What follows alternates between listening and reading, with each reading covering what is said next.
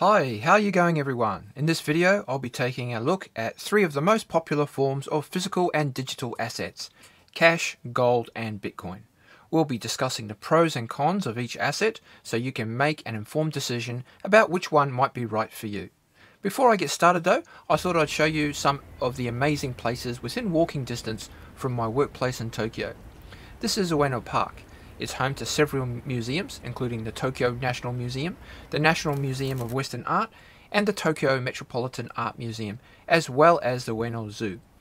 As you can see, it is a very it has a very large pond and a temple which is dedicated to the goddess of Benten, the goddess of music, art and wisdom. It is a pretty awesome place to visit, especially in spring because you can see a lot of amazing cherry blossoms. Okay then, let's get started discussing cash, gold and Bitcoin, the pros and cons of each. Firstly, cash. The pros. Cash is a widely accepted form of payment and it's easy to use. The cons. Cash is vulnerable to theft and loss and it's difficult to store in large amounts of cash securely. Additionally, cash is subject to inflation, which means that its value can decrease over time. Government can also control the cash supply through monetary policy, which can lead to inflation. Furthermore, in some countries and regions, cash is increasingly being phased out in favour of digital payments. And some governments are considering the issuance of a central bank digital currency, or CBDC, such as a digital dollar, which could potentially place tighter controls over people's financial transactions. Okay, gold. The pros of gold. Okay, gold has been used to, as a store of value for thousands of years, and it is often considered a hedge against inflation. Gold is also considered a tangible asset that you can hold in your hand and it can be stored securely. The cons. Gold is relatively heavy and bulky, making it difficult to transport. It also doesn't generate any income and its value can be affected by many factors, including changes of the global economy. Additionally, gold mining can have significant environmental impact. Gold mining operations often use cyanide and other toxic chemicals, which can leach into the environment and pollute water sources. Mining also generates waste and can lead to deforestation and habitat destruction. Extracting gold from the earth requires a significant amount of energy and heavy machinery, which consumes resources and generates pollution and carbon footprint. The process of refining gold and other metals also generates environmental pollution. Let's move on to Bitcoin. The pros. Bitcoin is a digital asset that allows for fast, secure, and transparent transactions. It has a limited and predictable supply and its value is determined by demand and market speculation.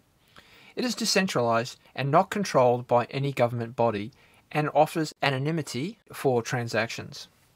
Additionally, it is very portable and easy to transfer internationally. All you need is your seed phrase and you can access your wealth from anywhere in the world.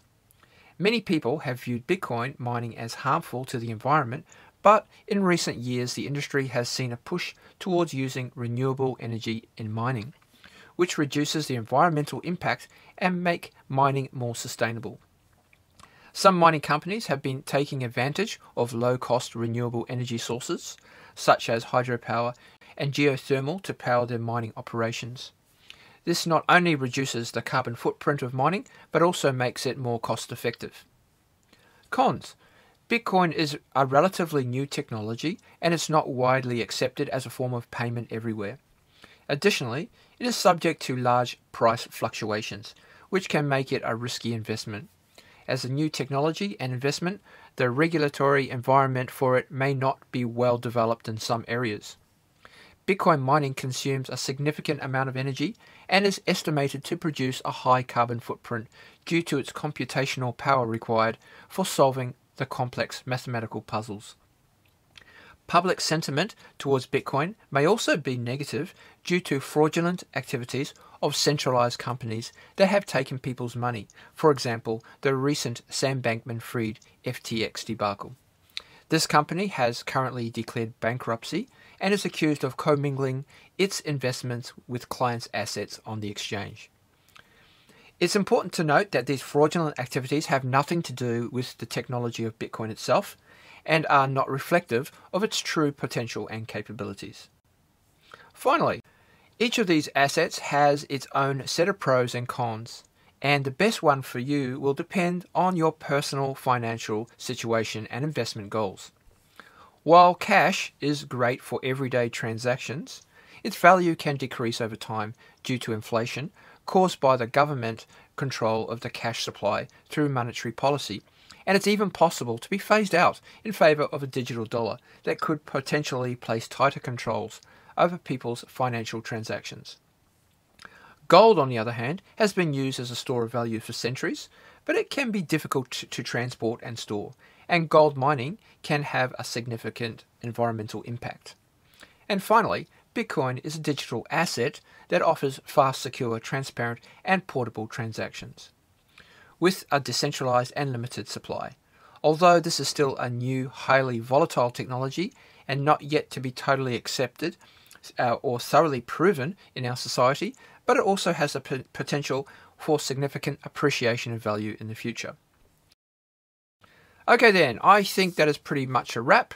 I, uh, if you would like to add anything on this topic, please do so in the comment section. Thanks for watching today's video. Don't forget to subscribe if you haven't already and leave me a big thumbs up on the way out. Bye for now, everyone.